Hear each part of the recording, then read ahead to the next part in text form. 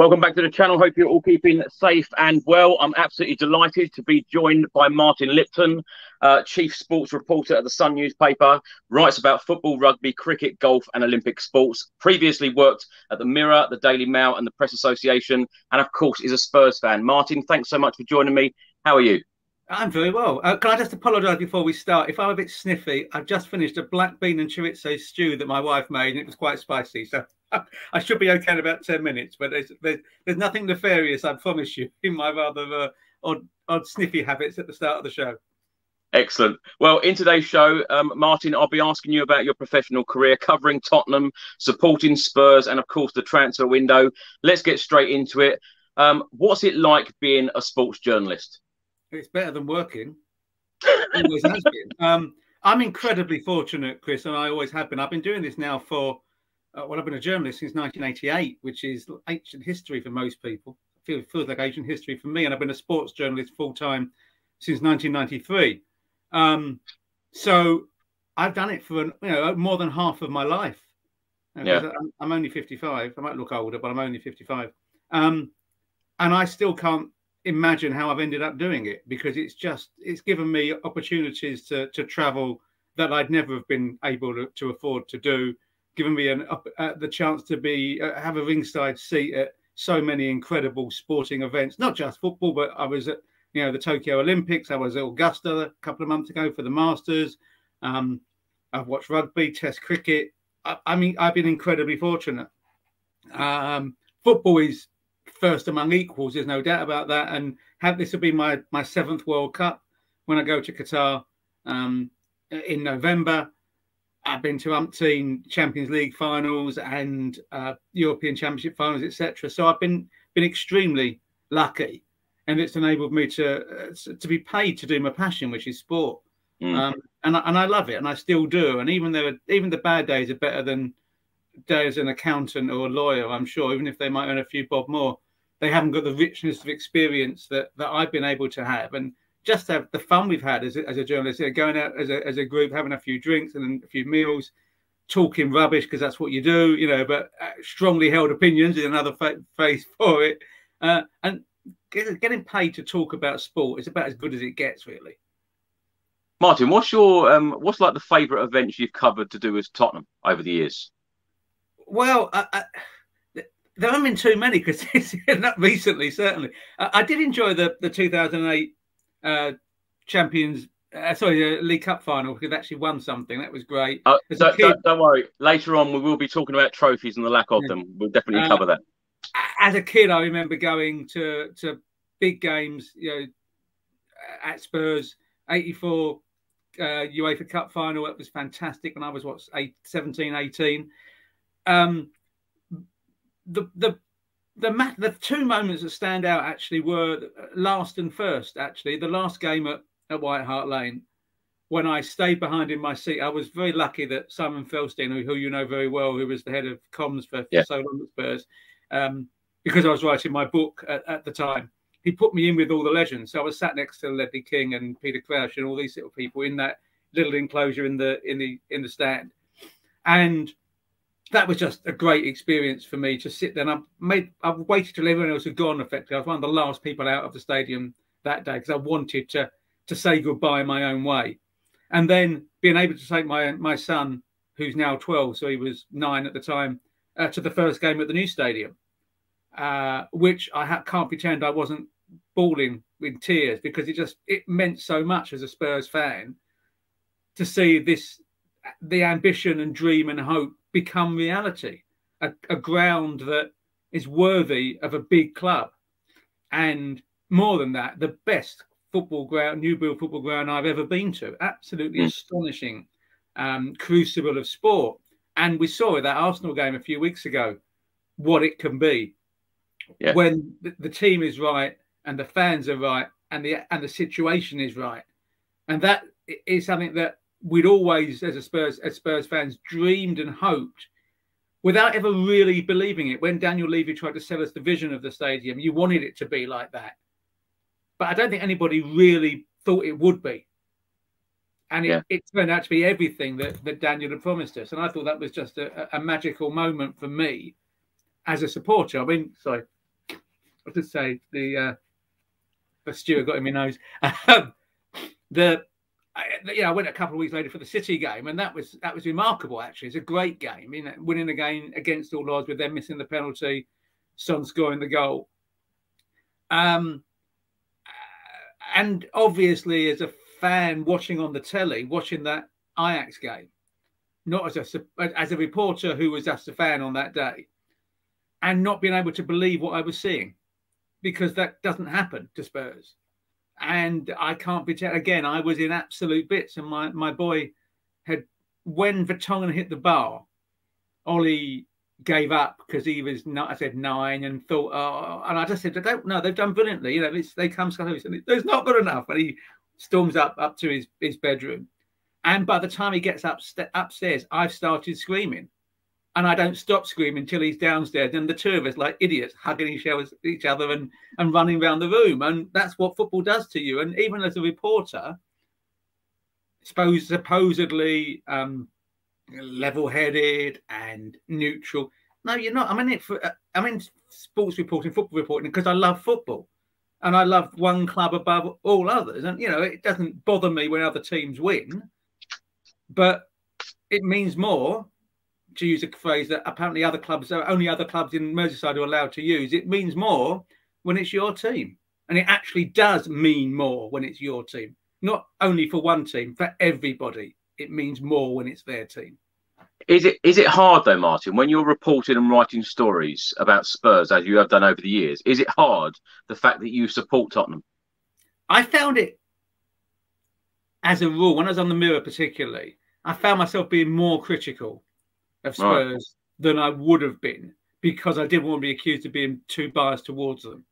Yeah. Um, and I think that was important that I should could show a degree of professional dis, dispassionality in, in that re regard. Not always easy, you know. When they when they hold on for a nil nil against AC Milan to go through, having been pretty much on the back foot all game in that that uh, last sixteen match in the Champions League, I can't pretend I wasn't very very excited with a massive beaming smile on my face but you've yeah. got to write what you see. And if that yeah. means, you know, being critical of them, you have to be willing to do it. And I think as a rule, I tended to be even more critical for fear of being accused of, of giving them too soft a ride. But I'm willing to plead guilty to that because that's the fan in you as well, because no one's more critical of their team than most real fans. Yeah. It's easy to be a fan of a team that's winning. It's much harder to be a fan of a team that's that's not winning, that's letting you down, that's frustrating. And it also means that the if you accept the lows are what they are, it makes the highs all the more exciting and more vibrant and more real yeah. because you don't necessarily expect them. You don't necessarily take them for granted. You want to cherish and relish them. And I think that's that's always been part of it with me. Martin, why Spurs for you? Sorry? Why Spurs? Oh, it's my father, I'm afraid. Took me when I was five. Um, yeah, I remember the first game was October 72 uh, against Stoke, won 4 3. Uh, I looked it up. I think uh, John Pratt scored two, I think, from memory. Um, and that was it. One was enough. I, I, remember we stood on the shelf, so that's a long time ago. And um, my dad used to take me for quite a long time, not every week, but when we could go. We lived in Walthamstow at the time. Um, and my father used to, and he'd been a Spurs fan, grew up. Uh, he was born in '46, so he was the right age to see them win things. Um, and he was telling me, even as a little boy, about that team that he'd seen, and I sort of heard those stories. And we would drive around the North Circular from Walthamstow, and we he would blag his way past the copper to try and park close to the ground, and we'd walk through, and we always left ten minutes before the final whistle to try and get home. That was always irritating, but that's what we did. Um, and yeah, that was it. And it's you know, he's come from a family of Spurs fans as well. You know, his brother is a big Spurs fan. So, you know, he's a, he's a North London Jew. So that adds to the the luster of it. You know, he grew up in in sort of Stoke Newington, Stamford Hill, that sort of area. Um, and so it becomes an ancestral birthright, doesn't it? And it's part of part of your, your the fabric of your being. And so from the very early age, even we moved out to Essex when I was 10, was only one club. And I got my, you know, my first Spurs kit when I was about six, and I used to get them fairly regularly. Um, and I go when I could, and I and then as I got older, I go on my own, and you know, or I go with some mates, and we get on the train from a place called Wickford where we live near out near Basildon into Liverpool Street and uh, you know do it that way. It was it was part of my upbringing and and, and, and a rite of passage in many ways. And I you know I loved going. And even when it wasn't great, it was great. And when it was great, it was fantastic. You know, and I was lucky enough to watch Hoddle in his pomp and prime. And you know, knew every game you see something from Glenn Hoddle that would take your breath away. Absolutely yeah. incredible. The talent the man had, the ability to spin on a sixpence and play six, 50, 60 yard balls with either foot out of nothing, to, to put one into the top corner or thread the ball through for, for one of the strikers. I mean, he was a, a, a magician with the ball without question. And so when you've got players of that quality, and he started, you know, he was 17 when he made his debut in 74, when I was seven, eight. So all through that really formative period, through my, you know, uh, primary school years, Glenn Hoddle was in the Spurs side. And so therefore, how could you not want to support a team with him in it? Martin, what was it like writing the first article on Spurs or, or going to that press box for the very first time? First time I went was in 93 4 season to work. I, had done some Spurs st stuff, uh, bits, but only, uh, you know, just writing about things from other papers, as it were. When I was on, uh, when I was working for uh, an organisation called UK News, which is an evening paper service, yeah. basically set up by Westminster Press and, and Northcliffe newspapers, and it had about 30 titles up and down the country. Uh, but they sent me to Spurs versus Swindon, a one-all draw. Yeah. Uh, Paul Bodin scored for them, and I think Jason Dozzell scored for Spurs. Dozzell, yeah. Um, and of course, in those days, the the press room was a Portakabin in the car park. Uh, but it meant I went into the press box for the first time and realised, A, it's the best view in football and also the worst simultaneously because you were so low you couldn't see the far side of the pitch, but you were so close you could hear every word the manager said. And it was fantastic in that regard. And yeah, mm. it was like, crikey, what am I doing here? This is just bonkers. That is me working at Spurs. Um, and I remember I ended up pulling Colin Calderwood because one of the papers in our group was a Swindon advertiser. Colin had joined Spurs from Swindon as well. And I got him to speak about, you know, the change between the two clubs, which was perfect for for my titles uh, at the time, and it was it was incredible. You know, you just suddenly thinking, I want I want to keep doing this, um, and lucky enough, I have. Um, and that included being, you know, harangued by various Spurs managers. They didn't like my, my questioning. Gerry Francis was a, an absolute case in point. He thought it was a real pain in the backside and asked too many questions, probably because I was a real pain in the backside and asked too many questions. And I had a ruck with um, with David Pleat and I love Pleaty to bits. He's brilliant. But he did give me a, a real going over one day for, for, for hanging around outside the training ground and asking questions he didn't want to ask because that's my job, you know. And you've got to be willing to to get a bit of stick sometimes, and I did. Uh, but also, I mean, I've been incredibly lucky that I've got I know people at the club and have done over over years, um, and I've been very very privileged to be able to to you know see some things behind the scenes as well occasionally. Martin, did you cover that following season, 94 95, which I always call the Klinsmann season because that was incredible? Well, I'd moved up to um, Leeds then, or Huddersfield, working for the Press Association.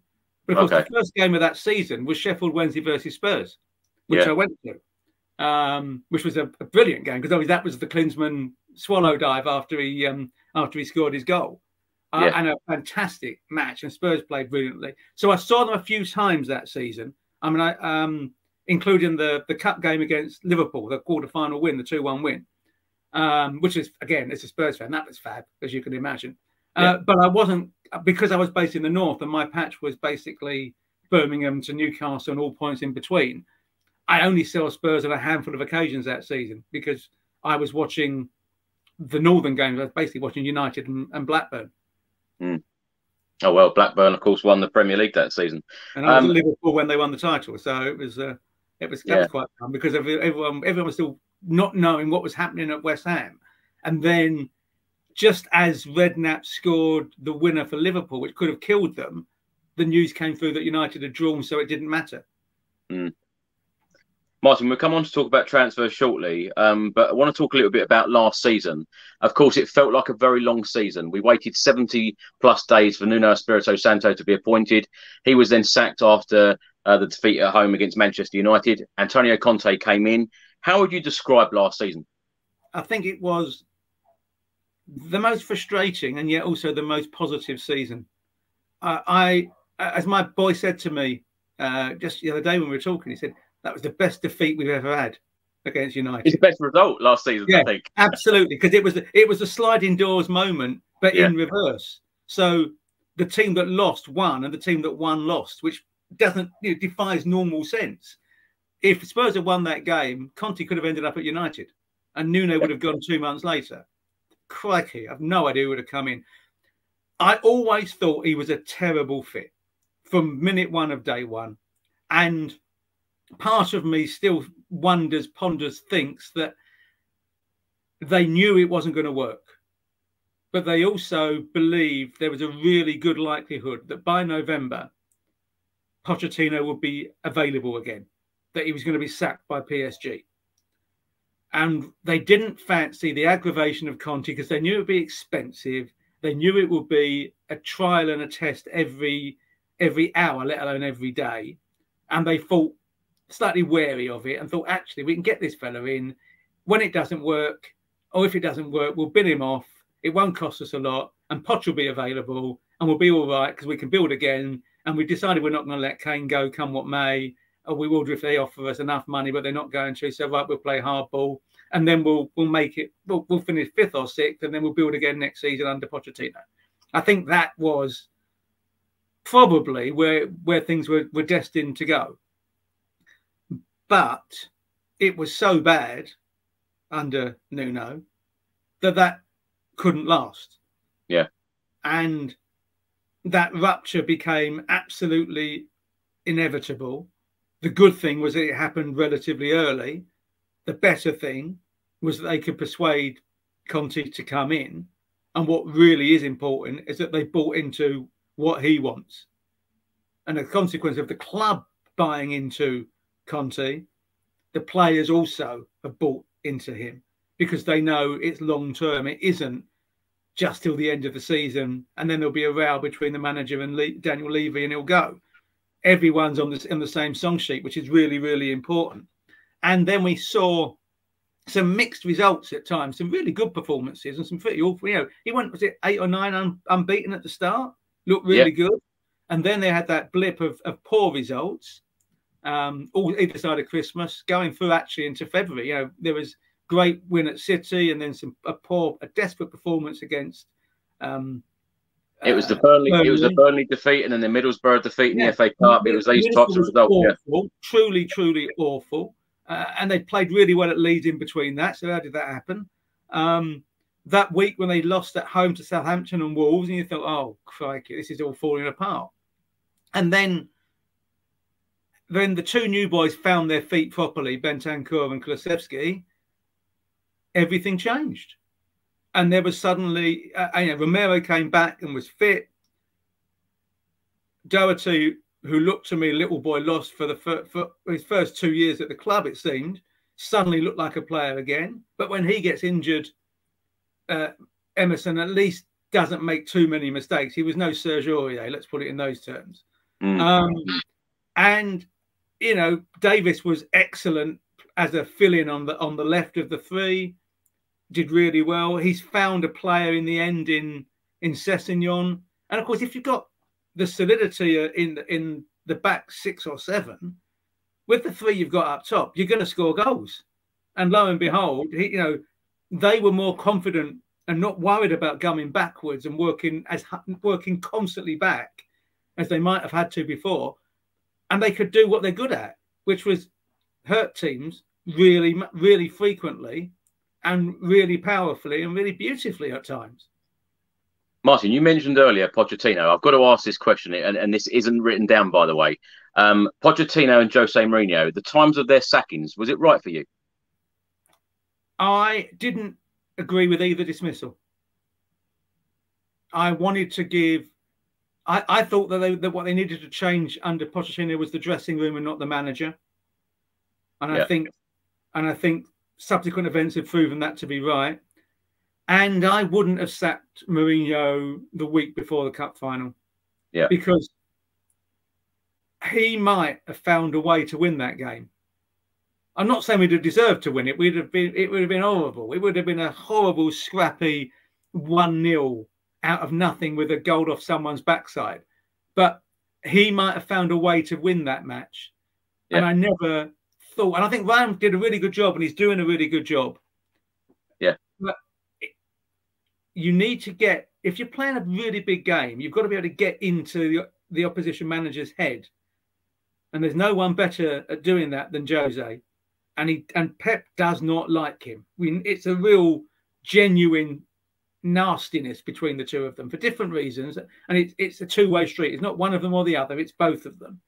And he mm. might have just got into him and made him do something silly in the game. Because remember, a few months later, against Chelsea, he did do something silly. If he picked his normal team, he'd have won that Champions League final. He overcomplicates sometimes. And Mourinho yeah. would have tried to find a way to goad him into overcomplicating and giving Spurs an opportunity. Whereas he playing against against Ryan in his first game game in charge, and Pep just says, "Go out and play. We'll beat this lot because we're better than them."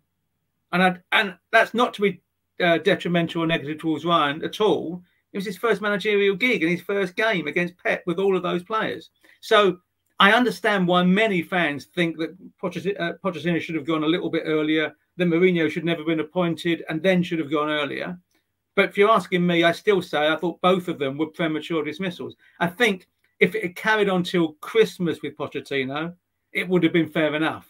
Because you could say actually it had been a year of decline by yeah by Christmas. It started in the February March really, and it never never got any better. And the, yeah. the Champions League final run was actually a bit freakish and out of keeping with what was happening in the other games. But I'd have given him a bit more chance, uh, and I'd have definitely kept him Mourinho to the end of the season. I think I probably would have done it then, but I'd have kept him to the end of that season. Martin, of course, the last transfer window, as you said, uh, Kerr, and Kulusevski come in. Um, do you think that, that was the turning point, them two arriving? Oh, I think it was a, a huge decision. Uh, getting rid of a couple of bad apples as well helped, or players who weren't doing anything. Uh, I'm I'm really upset that Ndombele's not done it, but he's never going to be a Spurs player. So whatever you get for him, let him go. And I never saw a, much of a player in Lo Celso, to be honest. Um, yeah. And no one saw a player in Gil because we haven't seen him kick a ball, apart from that penalty against Wolves at the start of the season. So those three disappearing improved the harmony within the squad unquestionably. More importantly, the two that came in got it.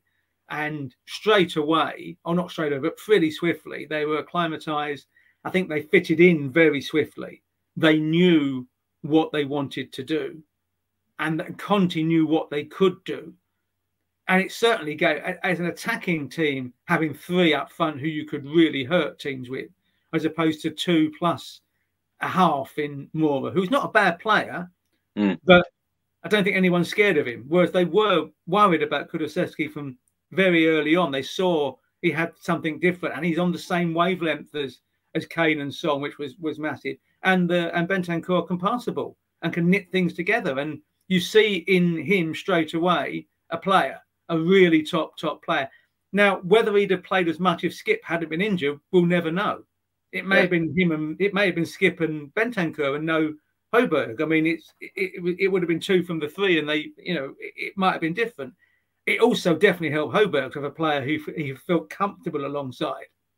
Um, and I think he did really well at the end of the season. I don't think I think he's a somewhat limited seven out of ten player, but seven out of ten every week's pretty good. And most weeks, certainly in the last three months, he was at least seven out of ten um, because Bentancur gave them solidity, shape, definition, made him a better team. And mm. they were two critical signings, no question about it. And it made everyone look and feel like better players. They hit the ground running straight away. When, when was the last players, you know, before those two um, at Spurs that, that you felt that come in and done the job straight away? Because, they, you know, a lot of signings seem to struggle, don't they? Yeah, not many do. I mean, look, it took Son.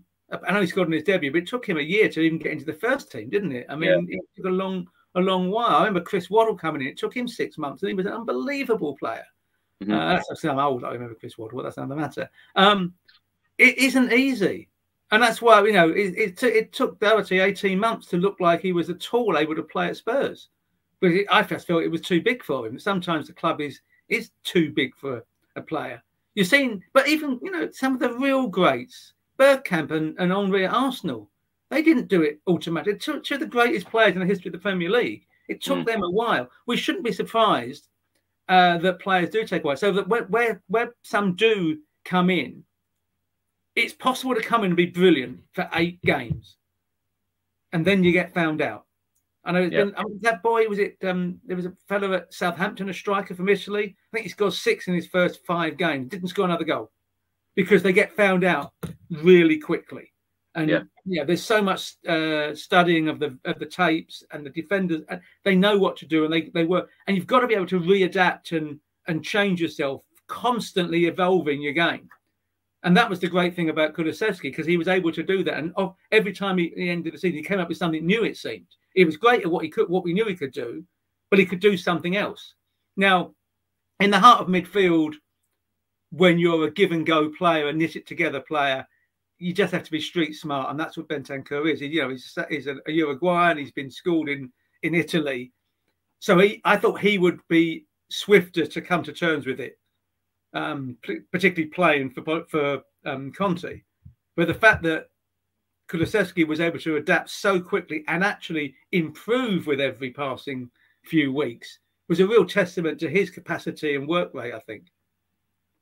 Martin, I want to talk about trophies. And of course, we've just mentioned Pochettino and Jose Mourinho. And of course, Jose Mourinho has won a trophy every single club that he's been at. Um, now we've got Antonio Conte. Surely we cannot go from Pochettino to Jose Mourinho. I'm not even going to mention Nuno, but then go to Conte and not win a trophy. And as you said earlier, 2008, our last trophy. Surely Conte is the man. Well, I think so, but I've said yeah. that in the past and look really stupid. So I don't want to be. All I want is to see continued improvement. Yeah. And if there's continued improvement from this baseline, the natural consequence of that is winning things. Mm-hmm. Because look at where the starting point is fourth in the Premier League, having played half a season, a quarter of a season under a manager who wasn't fit for purpose. Um, I thought their performances in Europe were poor last season. I don't think they took it seriously enough. And then there was the issue with the Rennes game. I thought the performance in the, I thought he, he gave up in the in the League Cup semi final. I think it was a mistake to pick the goalkeeper he did for the, the game at Stamford Bridge. I really don't understand the thinking in that, but there, there you go. Um, and I thought they were pitiful at Middlesbrough. Yeah. But I'll accept all of that because of the way it finished. Um, and I suspect that they will give it a right good go in all the competitions.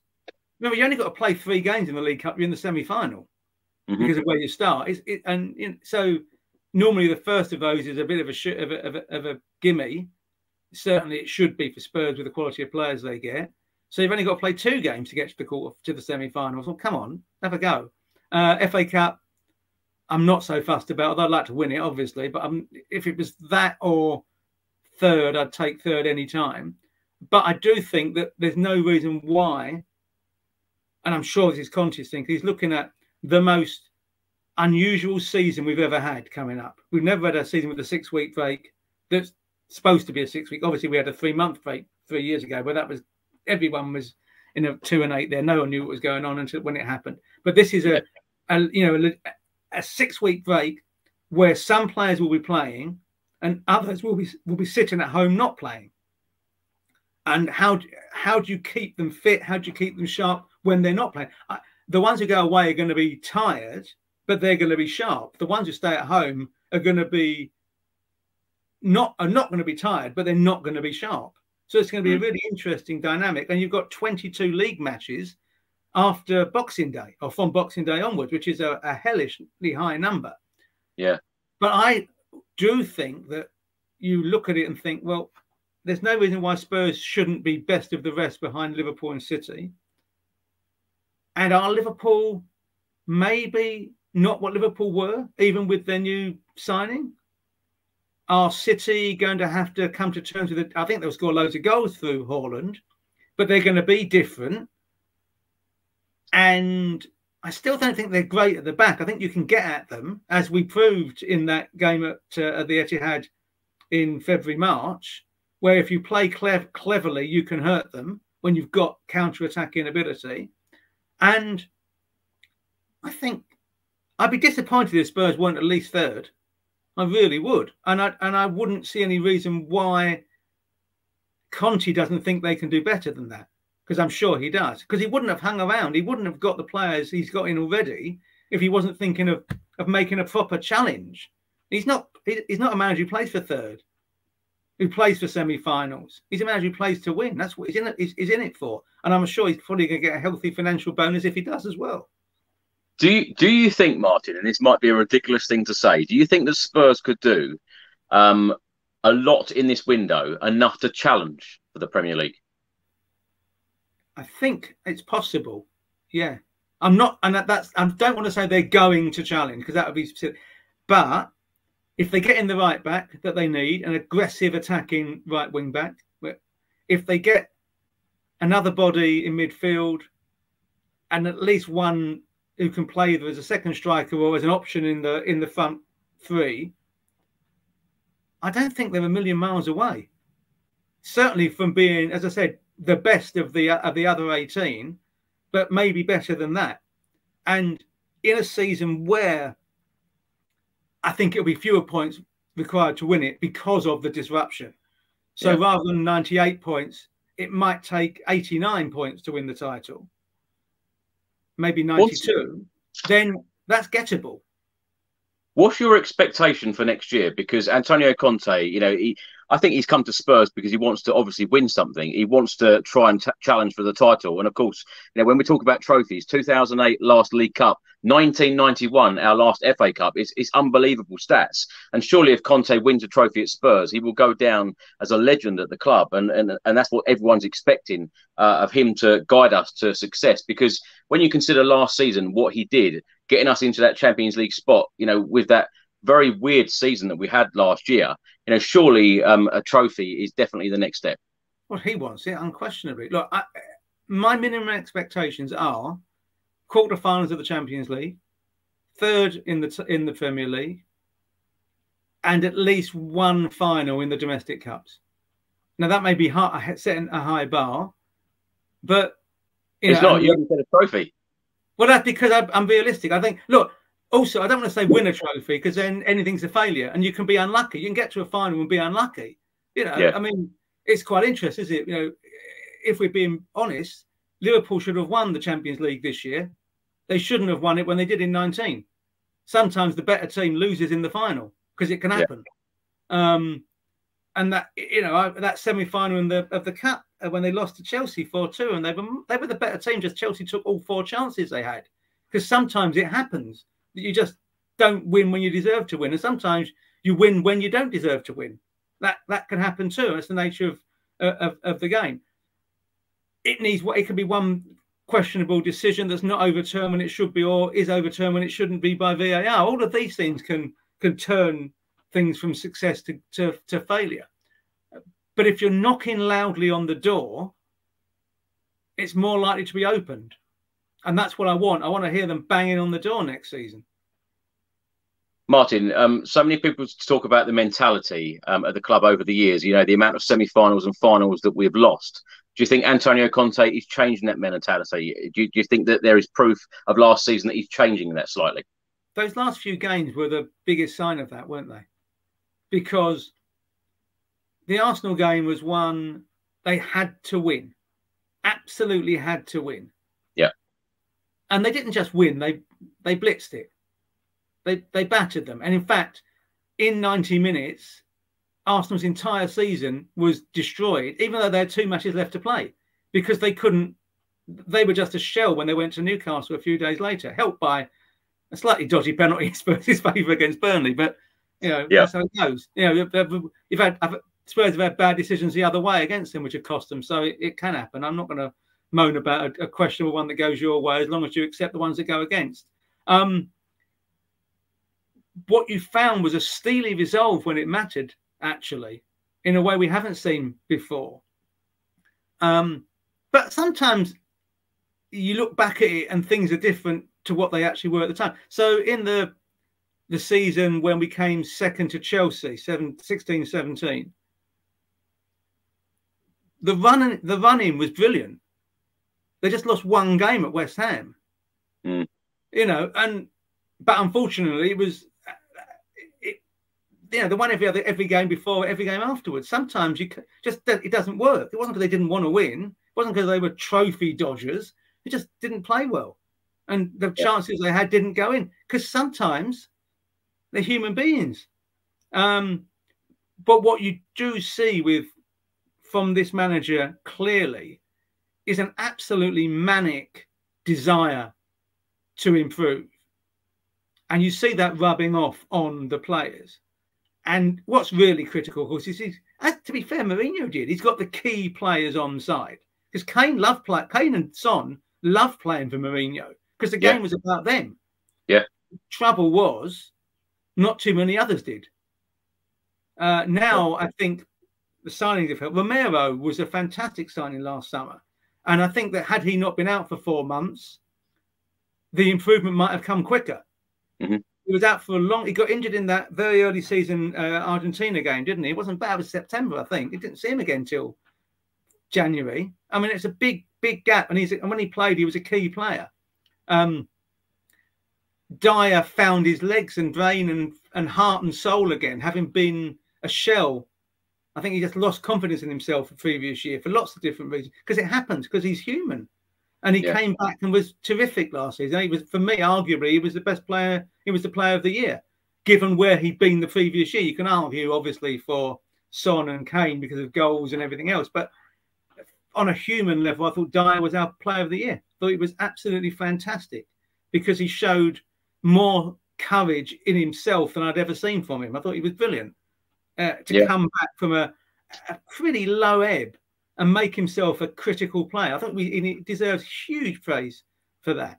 And whilst the goalkeeper makes the odd rick, what I love about, as all managers do, love about old goalkeepers, is they don't worry about mistakes because they think that means the next one's seven games away. Whereas mm. young keepers worry about mistakes and that feeds the next mistake. And actually, Lloris didn't make too many, and he more than made up for it with the big saves he made. I, I think that there's there's a really positive vibe now, and I think critically and passionately, the fans are buying into it too.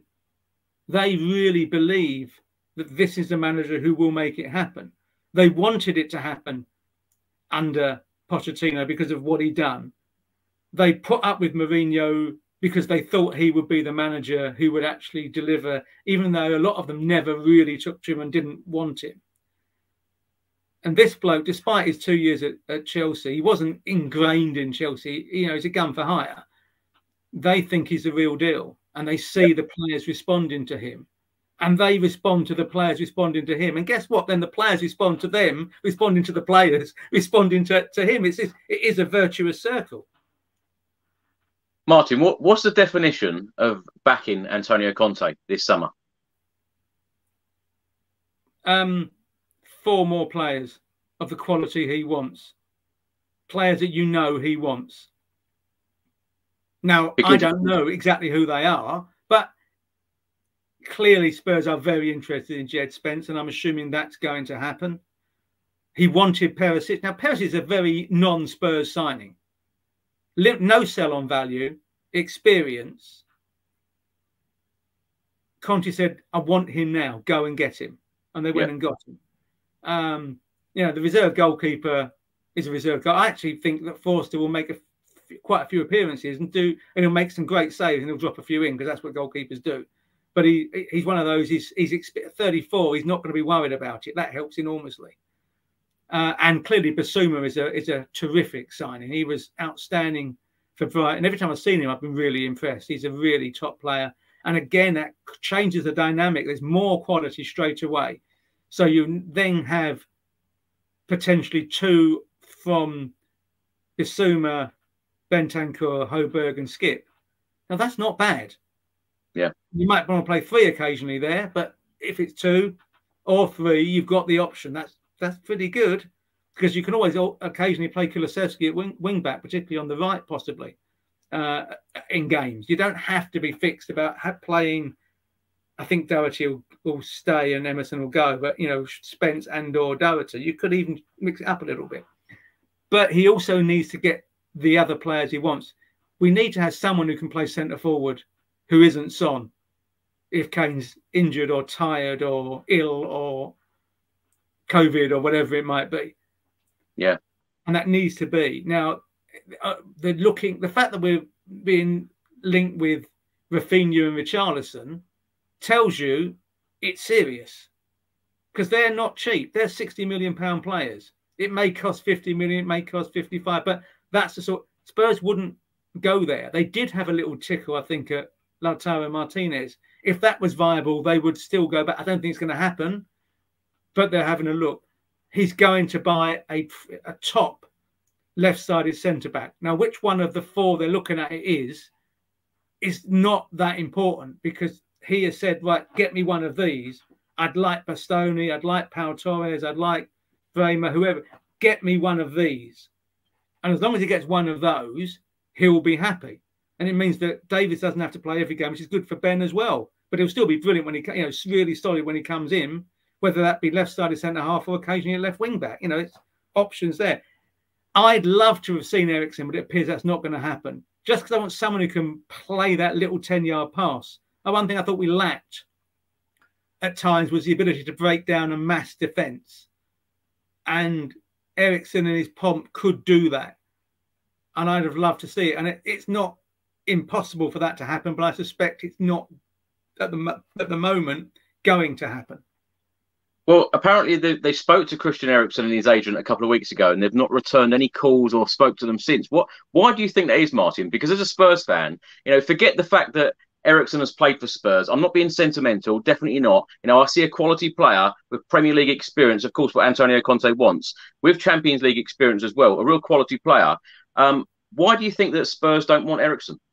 I don't know because I thought it'd be a perfect fit. You know, he doesn't have to play every game. He wouldn't do every game, but he'd be really useful. And I said, I'd, when you're playing Burnley at home or Southampton, I'd rather have Eriksen in there just because he can do something.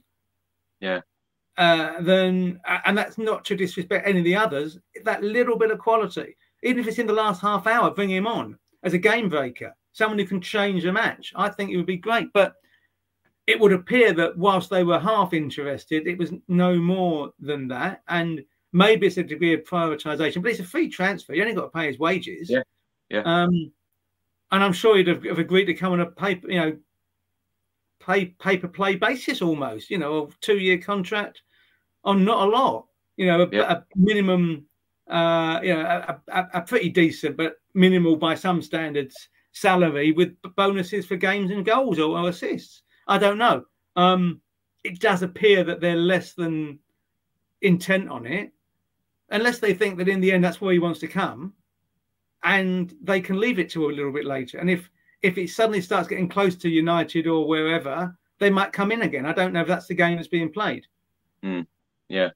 Um, the new signings you mentioned, uh, Perisic and Bissouma, would you expect both of them to be starters on the opening day of the season? Yes. Yes, I would. I think um, I think it'd be great for Sessegnon to learn from a really experienced, wise old head in Perisic. Um, and if you look at his stats for Juve last season, I think it's eight goals and nine assists, or the other way around. But you know, really good from from wing back. He gets forward, he'll cross the ball, he'll be he'll be dangerous. He's smart. He can waste time if he needs to very well. And as, I think Bissouma was a standout midfielder at, at Brighton last year. He always appears to have time time on the ball, time to play, time creating space, create. I think he's a terrific physical specimen as well. But more importantly, he's a very looks like a really intelligent football player. So he's strong and, all of those clear physical tropes. But more importantly, is he smart? You see him creating space, creating room, and he will he will be he'll blossom in that environment. I think. And I think that's really good. I mean, whether it's who misses out or Bentancur, I'm not sure. One of them, probably, because it is Southampton at home, where you'd expect Spurs to, to have a lot of the ball. Yeah. Martin, um, that Bissouma deal, it just seemed to come out of nowhere. No one seemed to speculate, no no reports, uh, you know, no tweets about it. Um, now, when you when you think going back, like I remember the Klinsmann deal in '94, I remember seeing that on the back of the newspaper, on the back of the Sun newspaper, um, seeing that that deal was done with uh, him standing there with Alan Sugar. Now, Um, talk us through like the change of uh, the way social media has changed the the fact that when a piece of news comes out now, it's just out there, isn't it? Yeah, I mean everything is live. Nothing. It's very hard to hold hold a story. In the old days, we used to try to you know hold things back for the paper. And unless you're the only person who's spoken to somebody and you know that they're not going to speak to anybody else, there is mu- not much point in trying to hold it back for the newspaper anymore. You might as well just get it out online because it's going to come out anyhow. Um, yeah. Things have changed, and that's not neither good nor bad. It's just what is. It we're you know this is a 24-hour culture now, um, and you've got to accept that that's that's it. And I, you know I use social media as a fantastic research tool. It really is brilliant, particularly if it's a breaking news story that I need to get over. If it's something happening in South America, I can find out from Twitter and then from links on Twitter far more information than I could sitting at home waiting for it to drop on the wires. And that's no disrespect to PA and Reuters and everybody else. Uh, everyone is a journalist now. Everyone wants to put information out. Um, and you've got to accept that that is the nature of the beast. And uh, and I do. So you sometimes hold things back if you've got if you can. Yeah. But often you can't. And like, let's just do it. Let's get it written. Martin, many reports have stated that Antonio Conte still wants a right back, a centre back, a creative midfielder, and a striker. Do you think that he is going to get everything on his shopping list? Yes. I you do? do? I do. Yeah. Um, the only thing, I, the one thing surprising me is the Eriksen because I thought he was a creative midfielder. The right back is going to be Spence. I think it will be either Richarlison or Raphinha the way it's going as the centre as a striker, and one of those we mentioned as the as the left sided centre back. He's going to get what he wants. Paratici has been out there doing the business. I think what's really interesting is that I suspect he'll have everything he wants by the time all the players are back for training next season. So rather than it being done on deadline day, what we'll do on deadline day is get rid of the deadwood that isn't wanted anymore. The ones who aren't going to have a, a role, they will be told by the end of the last week in August, sorry, pal, you might if you want to play football, you have to move. Um, because pre-season, pre-season to Conte is extremely important, isn't it? Absolutely integral, yeah. In my opinion, I think that he'll want every single player in his squad before he goes on that plane to South Korea. I agree. I think that's his the squad that starts the season, the ones who he's going to use and trust and utilize will yeah. be on that plane. I'm absolutely convinced of that because he wants to drill them. He wants them to play Conte ball, to learn what's required of them and he believes he's a trainer, a coach who believes that you do it by method. You work and work and work, and then when you're rested, you work even harder. And it's you repetition and drills, good ones and inventive drills, but still working to make things auto, automatic, make the movement automatic. That's what he wants for people to know their positions, know their roles, and he believes if you do that, and he's, he, look at what he's done throughout his career, he's been a success doing that. He won the league with Victor Moses at right back. Mm. Yeah, you know, there you are. He won the league in Italy. He won. He won the league in Italy with Ashley Young playing at, at wing back. I mean, it's he gets players. He puts players in the right holes and makes them work. And even if they're not necessarily somebody else's first choice. If he thinks he can mold them into the player he wants them to be, he's very happy. But he wants everyone to be in their mold. Doesn't want anyone to break free of it, really. Martin, there's been reports out today saying no direct talks uh, with Spurs and Everton for Richarlison yet. Antonio Conte wants a versatile striker or a, a versatile forward. Do you think Richarlison will fit in to this Tottenham Hotspur squad? Because every time I've mentioned Richarlison on this channel, a lot of people are not that keen. I think he scored 12 goals last year in a very average Everton. He scored goals for a very average Watford. If he plays in a better team, he scores goals for Brazil when he plays. He's got a hat trick. I saw him in the in the Olympics in Tokyo. If he plays for a better team, he'll be a better player. He will have no excuses with Conte and he will be desperate to play in a team that can win something. And he yeah. believe he'll he'll come believing that that's why he's come to Tottenham. That he'll be part of the reason they get over the line. And there's nothing wrong with vanity in a player because it might make them better players. You need that self possession, self confidence, and he's certainly got that. And yeah, there are times when you think he's a little bit lackadaisical, but he's never been in any time since he's been in England. He's always known that he's the best player. He's the striker. Yeah. Well, he has got to prove that at Spurs because he knows that he's got to get in the in the same team that already includes Son and Kane and Kulusevski. Now, two of those are top five scores in, in the league last season, and the other one did pretty well, you know. So for him to get in the team, he's gonna have to play and play and play again. But there'll be a an impetus and desire to do that on his part. And I think that um, that would work. And I think is a real chance. I think Chelsea want him as well. He's going to, have to make it. If it comes down to money, I suspect at the moment Chelsea could still offer more, though we don't actually know that because no one knows what new Chelsea are going to be.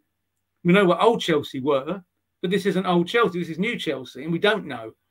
We do know that Spurs are financially now in the position that they were supposed to be when the ground was built. This ground was built to get six million pounds in every in through the gate every home game. Now it's happening. So there's that huge uh, cash fund that's available. Sponsorship this year, Champions League money of 30 million without kicking a ball probably ends up being 50 to 60 million if they do half decently. 140 million last year for Premier League money, which will be even more next year. Um, because the that'd be you know, come third come third it'll be 165 million next year uh, because of the extra value of the overseas TV deals. So you're suddenly talking about a club that, if it has a good season next season, could be grossing half a billion pounds in revenue. And even if you stick to 60% of revenue to wages, that's a 300 million pound wage bill, mm. which is an awful lot more than Spurs have had in the past. Martin, with, with Richarlison, where does he fit in? Would, it, would he come in and be a sub? Would he be that player that we've been missing? Because I say this on this channel a lot as well. 2017, the last striker we actually signed on a permanent basis, uh, which of course was uh, Fernando Llorente. I know we had Carlos Vinicius and Gareth Bale on loan, um, but as far as actually signing a striker on a permanent basis, that was the last one. Um, where does Richarlison fit in for you? Like, if we did sign him opening day of the season, is he going to be that sub coming off the bench, replacing uh, someone like uh, Steven Bergwijn, for instance? yeah, I think he replaces Bergwijn in the squad, uh, but I think he gets more starts. I think he'll get, given the number, you know, so in the first splodge of the season, you've got 16 league matches, two League Cup matches, and six Champions League matches. That's 24 games. Yeah. Harry Kane is not going to start 24 games. He can't. If we, uh, does, but also if you have Richarlison, Son, Berg, uh, Kane and Kulusevski and maybe more still, he doesn't need to start 24 games. He can start 15, 16, maybe more, maybe less. Richarlison can start 10. Son can have breaks. So when they do play, they're fitter, they're fresher. You suddenly yeah. have more, more. You get more out of each players, each player by using them less. Martin, there's a there's a question here from Paul, and it says uh, best available versatile forward out there is uh, presently is Dybala. Now, um, apparently was um, requesting so much wages, wasn't he? Did, did you ever see a deal being done for him? Um, I think money makes it difficult, but also I think Inter is where he wants to go. I think he wants to stay in Italy. Um, so I think it's unlikely he comes.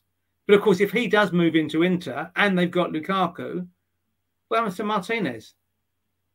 Yeah, and that could change. That could you know uh, that could dislodge that, and that could make him available. So there's still a period of of uncertainty that could change in the next couple of weeks. And also, once people get back from their holidays at the end of June, I think it'll be a very there'll be a lot happening in the first two weeks of July. I think it'll be very very busy from you know next next Saturday or from maybe the, the second, third of July from the Monday. I think we'll have a very busy period of lots of deals all over the place because things are going to move because the season starts a week earlier as well. So things are going to be expedited. Um, but Dybala's a talented player, of that there's no question.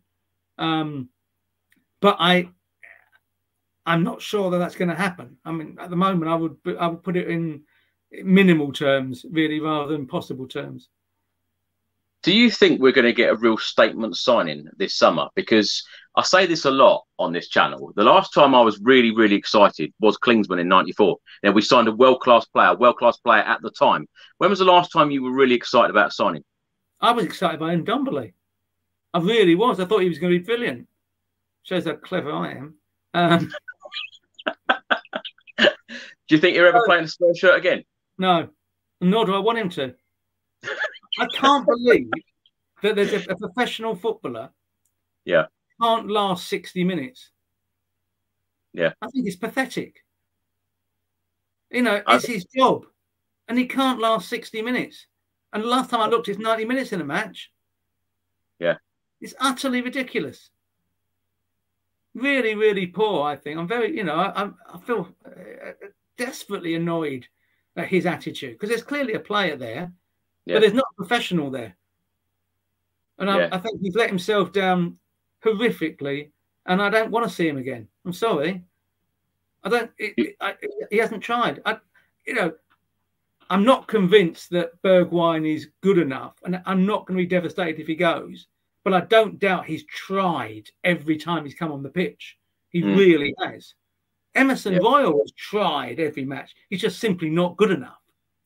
I mean, he's like uh, he's not the worst defender in the history of the club. There's a few really bad ones we've had over the years, to be fair. But he's certainly not a good attacking fullback, is he? I mean, crikey, the ones he puts in the right place are the the miss kicks. I'm pretty sure when he tries to play, he plays it all over the shop. He's just not very good, you know. And it's he's obviously a much better football player than I'll ever be. I'm not trying to pretend otherwise, but he's not good enough for the standard of football that we're looking at. So um, there's a few I don't, I won't be unhappy with if, if they disappear. Um, and Ndombele, I'm afraid, very much one of those. You know, go, never come back. Good luck. Take your money. Well played. See you. Do, and do well for France. Do well for Lyon yeah. or wherever you go next. I'm no, I don't have any animosity. I want him. I want. I'd like him to be the player he can be, but he's never going to be that player at Spurs. It's funny though, isn't it? Spurs seem to be criticised a lot for not spending money, but when you think 100 million pounds between uh, Celso and Ndombele, and neither of them worked out or, or even completed that many matches, 90 minutes, as you said. Um, what I wanted to ask you, Martin, is about Ben Davies because we keep targeting um, left-sided centre back. Is it unfair on Ben Davies? No, because he'll get plenty of football, and he can play left back. There'll be games he'll play left wing back. There'll be games he'll play come on for the last 20 minutes to show a match up. Um, he'll still play plenty of football. And, you know, he's been at the club quite a long time now. He was in the swap with Sigurdsson, wasn't he, all those years ago when, when Vorm came in. So what's that, eight years, nine years? Yeah. It's quite, it's a long time. And he's, without any disrespect to Ben, he's not a young man anymore. Um, he played really well, but played too much last season. He shouldn't have had to play as many games as he did. And I think he did really, really well because he never lets you down. I mean, you watched him play in that playoff for Wales. He was absolutely magnificent, wasn't it? Those blocks yeah. he made. So yeah. you still, and clearly Conte loves his attitude and will want him as being a, a member of the squad and a player he can trust and rely on. And if that means playing in the away game in Europe, which they think they're going to win, well, fine, good, let him play. Uh, in the League Cup, in a match that they think they can win at home, to give other players a rest, whoever it might be. That's the way it's supposed to be. That's that's the idea of squad players who you can trust and rely on, and they still get plenty of football, but they're not in the nominal first eleven. Well, that's all right. Do I you think, think get enough money? He's been paid enough. I don't, I don't think he's that unhappy about life, is he? Yeah. Do, do, do you think there's many players that were possibly going to be heading out the door this summer, but Antonio Conte has improved them and, and, he, and he's changed that decision? I think Doherty's the one of all of them. Um, I don't think he fancies Reguilon. He'll go. Obviously, Gollini's gone back. As we said, he'll, Lo Celso, and Ndombele, Bergwijn, they all go, I think, and hope, in truth. Not so much hope with Bergwijn. I just think it's time for him he needs to play football. To be fair, that's what I always do. I'd, I'd rather players went and played football than than hang around not playing because it's their job and it's it's a pretty short career. And I, you know, I think in the same way, I love Harry Winks. I think he needs to go, and I'll be really sad to see him go. but he needs for his own sanity. He needs to go to a club where he's going to play football, whether that be Southampton or Villa or Everton or wherever it is. Go and play football. I think he never really recovered. I think he lost half a yard after the injury, and I don't think he's ever got it back. Because at, that point, when he before he got injured, he was a real, he was going to go to a World Cup, no question, in 2018 if he hadn't been injured. He was going to be part a key part of that England team, and then he got injured and he never came back. Martin, comment on screen now. Um, do you think uh, Kim Min Jae is a good option? Do you know much about Kim Min Jae? He's another one they've looked at, and they, the other boy is the Hin- the Ecuadorian. Yeah. Um, so they've they've looked at a lot. It's about cer- there's a certain degree of grade of centre half that they're looking at. Um, I think the Korean boy is slightly below the top level of what they look of, of their list at the moment. He's on the list, I think, but I don't think he's necessarily at the top of it. Uh, and I think he, he's a possible rather than a probable. I think it will probably be one of Bastoni or Pau Torres as the most likely, but it could be neither of them. In which case, you go to the others who are on the list. With these with these players, um, you said that you think Conte will get his full shopping list: right back, centre back, creative midfielder, and a, and a, versatile striker. Do you think that um, Conte and Fabio Paratici are concentrating on Premier League proven players, or don't you think it matters because the likes of Kulusevski and Bentancur come in from Serie A? No, they're looking at players. I mean. It, it, yeah, it's about ability. Now, look, Richarlison or Raphinha obviously are both Premier League proven players, but Spence is not. He's only playing the Championship. Uh, none of the centre halves they're looking at played in the um, in, in the Premier League. I mean, Eriksen obviously would have been proven. I wouldn't be shocked if they had a little tickle at Maddison. I have to say, because um, I see a lot of Eriksen in Maddison and vice versa. And I know Maddison has an interesting reputation not the most popular boy with certain members of the England establishment, it's fair to say, but he can play. Yeah. And he's a younger version of Eriksen. And I think he, you know, he can take free kicks, so that take Harry off free kicks, which we'll all be happy about. Um, he can pass the ball, he can score, he can cross. I think he's a very, very good player. And I wouldn't be if he was to be someone there to go out and got. I would not be unhappy at that at all. That's a quality player who would fit the bill and again be able to give those little 10, 15 yard passes. You know, the balls he plays into Vardy and the sort of pass that Kane and Son would love. What about James Ward Prowse? Great engine, great set piece, good boy, I'm told, really good fella. People everyone tells me he's a really nice, nice chap. Is he a game changer? I knew there I'm was a but. Sure. I'm not sure he's. A, I think he's a good Premier League player. Yeah.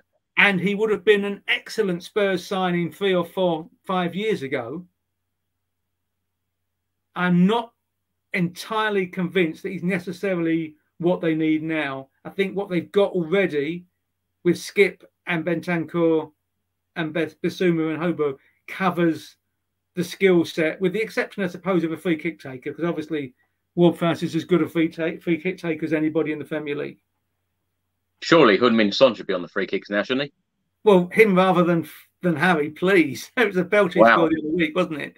Um, yeah, but I said if if if it were if Maddison were to come in, you'd have, you wouldn't be a problem having him take them, would you?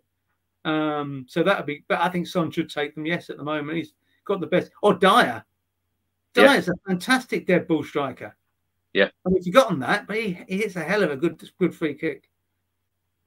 You know, Trippier used to do that, didn't he? He had that yeah. ability to score an absolute belter from distance. Yeah. Um, Harry Kane, do you think that Harry Kane will now finish his career at Spurs? His senior career, yes. I think he'll end up going to the States and play two years of MLS. Oh, okay. Yeah. But as a, up until he's 33, 34, unless things go absolutely belly up this year, I think he wants to stay. I think I, I never believed he wanted to leave.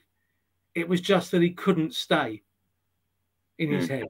It was it wasn't because he wanted to go. It was that he felt he had to go because the club was in free fall. That was his view of it. And I think he was let down by City because they gave him promises that they didn't deliver, which was a mistake on their part because they could, I think they'd have won the Champions League with him last season because he just scored those goals that matter because that's what he does. Um, but that's great for Spurs. He's got he's 20 goals, less than 20 goals behind Jimmy Greaves now. So he breaks that record uh, this season and he leaves Spurs hopefully with two Premier League titles, but also for him, equally important, if not more so, uh, breaking Shearer's record as the top goal scorer in the history of the Premier League. I think he gets five or six more years at Spurs, and I think he, he scores 18 to 20 goals a season, an average over those years. Martin, of course, um, Harry Kane in his younger days uh, went out on so many loan spells. Um, Troy Parrott has just come back from MK Dons. He's about to come back to Hotspur Way. Um, what do you see um, Troy Parrott doing in the near future? Do you think he will stay at Spurs this season? Do you think he'll be on the sub bench? Because, of course, we can use five subs in the Premier League from start next season. Or do, you, or do you think that Spurs will send him out on another loan? He'll go on loan either to a top top six Championship club or a bottom six Premier League club. Okay. Needs to play football. Needs to toughen up like Harry did. He doesn't have yeah. to necessarily be prolific there. He needs to learn to be a man in a man's world and that you know he did well last year at uh, out on loan, didn't he? He scored goals, yeah, um, some good goals. He felt more confident than I think he did when he was at Millwall because it, it takes time. You've got to learn to be more at home with yourself. There's clearly talent. He needs one year, maybe even 18 months, two years learning his trade before he's going to be ready. In the same way that they'll make do the same thing at some point with Scarlett, though he'll probably stay and be on the bench all this season and get 10 minutes here and 15 minutes there and seven minutes away to Bratislava or whatever it might be. Um, uh, hopefully it'd be Frankfurt actually because we'd like to draw them in the, as the as the top seed in the Champions League group. Um, but I think Scarlett will stay and be in around the squad, but Parrott will go out on loan. It's funny. I went onto the uh, the BT Sport website, and uh, your profile on there it says he has covered England every major championship since Euro '96, and he knows how to catalogue disappointment, which made me laugh. Um, now, covering England, will you be going out to Qatar at the end of the year? I will. Yes, I'm. I've got yeah. there for five weeks. I go on the 14th of November, and I'm back on the 19th of December. What do What do you expect, and uh, what what you, What's your expectations for England and the World Cup? I think they go very deep. Um, I don't. I dismiss what we saw last few weeks because no one cared. It was utterly meaningless matches, to be honest. It will matter in in November. I think the winner of the likely quarter final between France and England wins the tournament. I think they're two, they'll be the best two teams in it. I actually, I mean, I know Brazil were top of the rankings and Argentina are third and Spain are good. England have got more quality players than we've ever had before. And I know a lot of fans think that Gareth Southgate is a bit negative. Look how France won the World Cup. Solid base, and let your two or three superstars win the game for you. And that's what he will look to do. And that's Kane and Foden, maybe Sterling, maybe Grealish, off the bench with Grealish, I think, maybe Mount. There's quality there. They can win games. Uh, and, they, and the, midfield is stronger now. I think Rice is a fantastic player. I know Chelsea really want him, whether they and he wants to play for Chelsea, just making the right bid. He might have to wait a year, but he's, a, he's like, I'd have him tomorrow. I think he's fantastic, but he, he's set on going back to Chelsea so he can stay in Kingston for the rest of his life, uh, which is fair enough. Kingston's a lovely town. Uh, so uh, I think England will go a long way. Yeah, I really, really do. I, I have no reason to, to think otherwise. Doesn't mean they'll win it but I think they go deep. Uh, I think they're very, very good. It's funny, Martin. I say to a lot of uh, people that I know that don't support Spurs, saying that supporting Tottenham and, and, and supporting England and going and watch all the England games as I do, it's very similar, isn't it? Yeah, because you know it's going to end.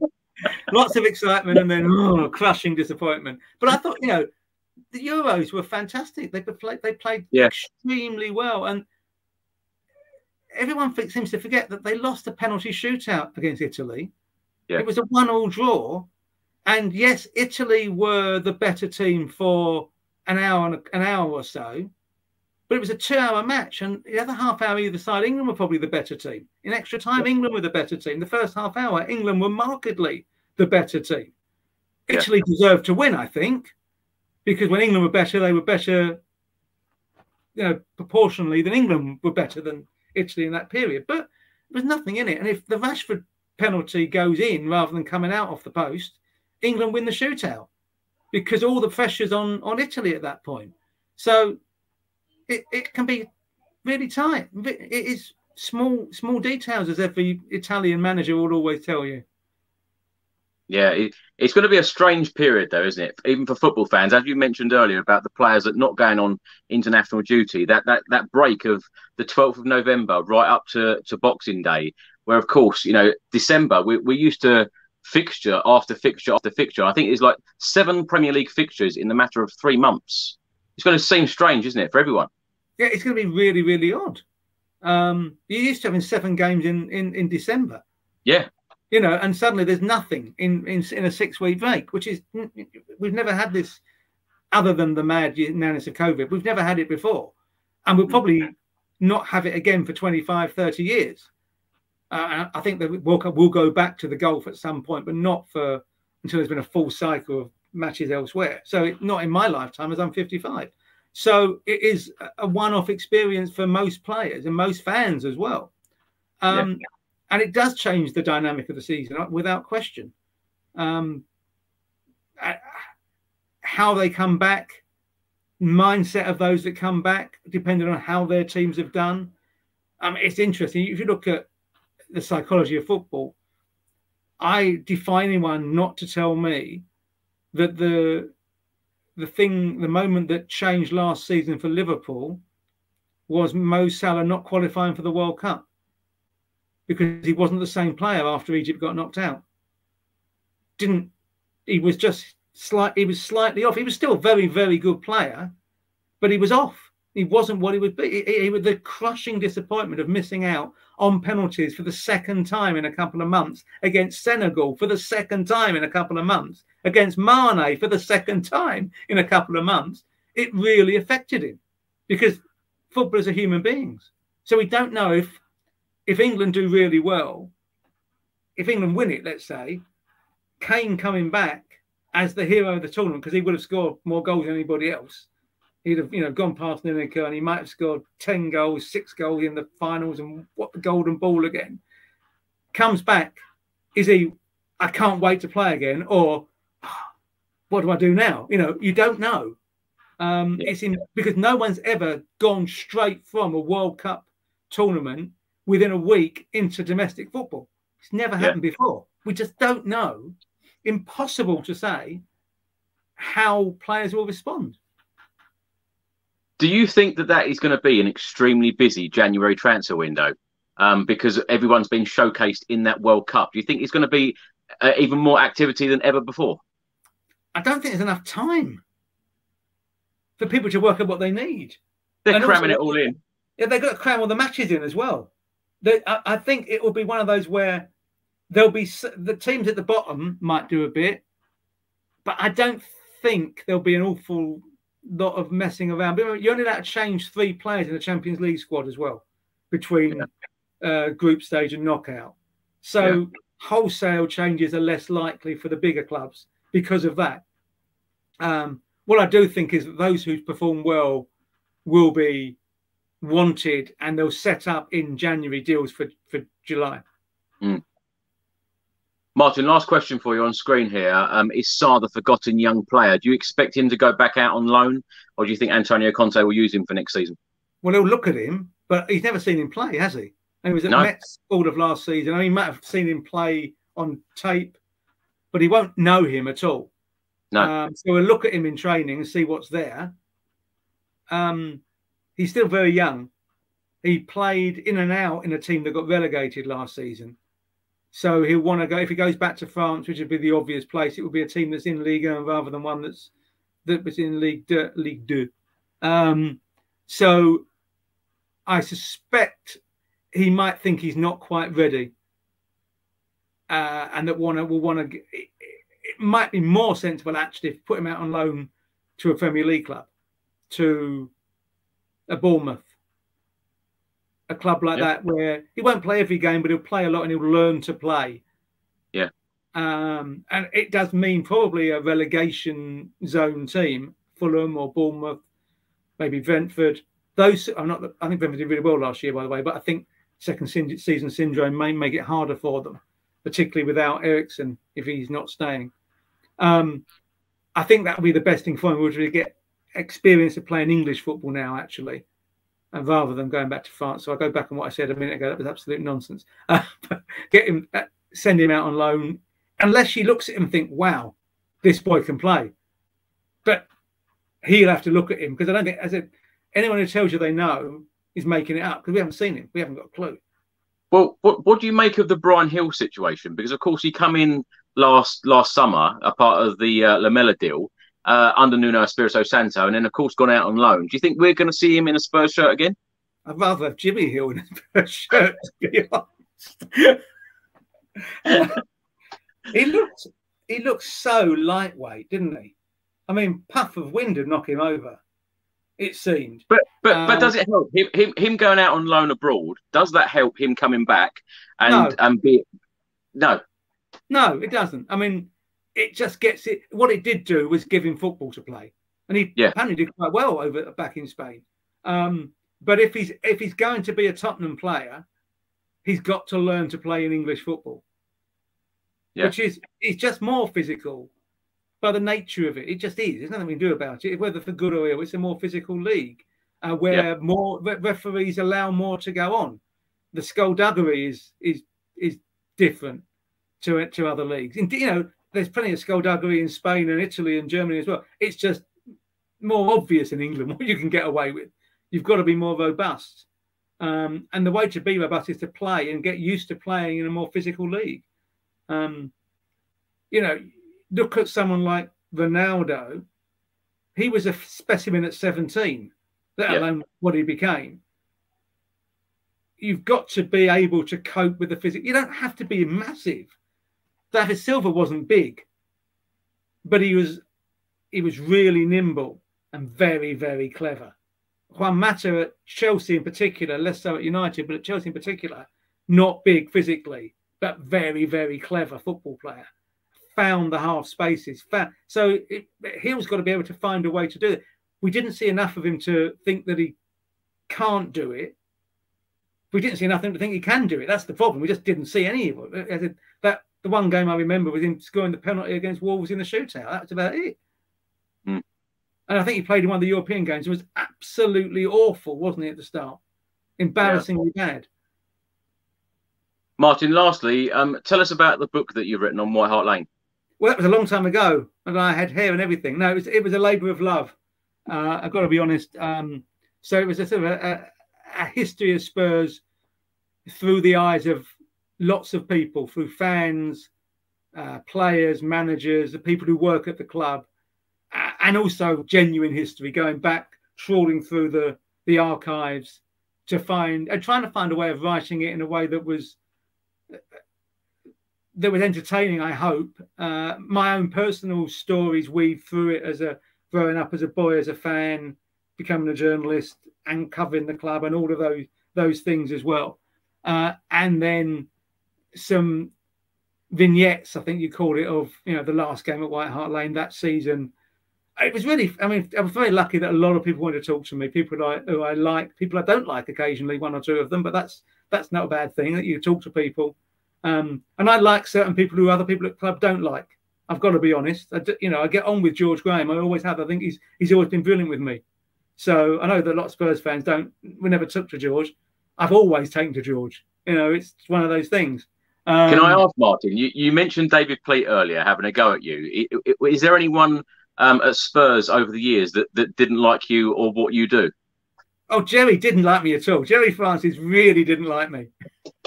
and I like Gerry. He just he, he, thought I was the biggest pain in the bum he's ever had. He really didn't because the thing about Gerry, there was a there was a bit of a joke. You know, a press conference was was at two o'clock GMT, which stood for Gerry Meantime because it could be anything between two and six, and it keep you waiting really? and waiting and waiting. which is it is prerogative. But after, come on, I've got a job to do here. I'm wasting six hours on, you know, it was a schlep to get to Luxborough Lane at the best of times, as you know. Um, and there were times, oh, can you get on with it? And I used to sort of, when it wasn't, he had this thing, he was another one who would come out with these stats. You know, I'm the first Spurs manager since so and so to do this. And I'd look up the stats and say, no, you're not actually. If you, that's yeah. not correct, is it? And he didn't like being called on that, but that's all right. It's fine. He, I mean, I thought they played there's some great football that season. Absolutely fantastic. Um, but it was a donut, wasn't it? You know, a team with a hole in the middle, which didn't really didn't really work. Um, did Did you cover the Christian Gross days? I did. I, I, I was bizarrely um, the ridiculous, ludicrous answer he gave about the the tube ticket was in direct response to me asking him a question about what he knew about the history of the club and traditions of the club, which was an utterly irrelevant answer, but a really good one for, for us as journalists. Uh, that, that, that was you that prompted the ticket. Yeah, yeah. I, I, still don't know why. I mean, obviously it was a setup. He knew he, he was always going to do it, and he thought that was the one that gave him the excuse to to whip out his his, his ticket from some Seven Sisters. I'm assuming he got a, a, a cab, a, a, car from Seven Sisters rather than walking down the high road. I must admit, but we'll never know. He definitely wouldn't have gotten the 149 or the 279, would he? That's for certain. Uh, but there you go. Um, yeah, Martin. I, I've had a few, but most of them I actually got on all right with that. I mean, that's you know, I I try to be straight. People don't always like it. And I've heard Pleaty, love him to bits, always have done. We had one row We've had one row in 30 years. And he and yeah. what he did, he wound down the window. Lipton, Lipton. Yes, David, you're supposed to be a bloody Spurs fan. Wound it off and went away. that was it. You know, he and that's part of the fun. He knew, I knew. We just got on, and I've, I've always been really grateful to David. He's been fantastic help to me over the years. Uh, whether he's a Spurs manager in his other roles, uh, at other clubs. When I've met him in his job working for you know t- uh, radio and TV uh, as well, I wouldn't have a bad word to say about him. He's a brilliant fella, really is. So I mean, most of most of them I've had, I've had lots of. I liked AVB. I yeah. really did. I thought he was a. I, I, I still like him. I, I, went to see him. I saw him in Lisbon last year, and it was like old, old mates again. It was really strange. I hadn't seen him for about five years, and I've I think he was he was a bit unlucky. I think I knew why he had to go. He'd made it impossible, but he wasn't necessarily wrong in everything he said. And he was a better manager than Tim Sherwood was, if I'm going to be brutally honest. Um, yeah. And he got the best out of Gareth Bale. There's no doubt about that. And better, that Bale was better under AVB than anybody else because he basically said to Gareth, "You're my player. I'm going to build the team around you." And Gareth loved that. Yeah.